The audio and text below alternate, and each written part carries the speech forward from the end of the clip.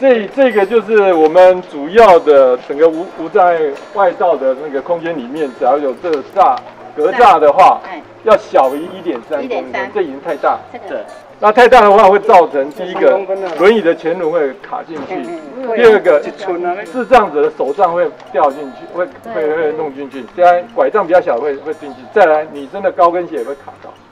哦，这会造成很大的困扰。所以这个要要上面，比如说用一个网状的那个铁丝把它加盖，加别那个空隙要小于一点三就 OK 了，或者换掉。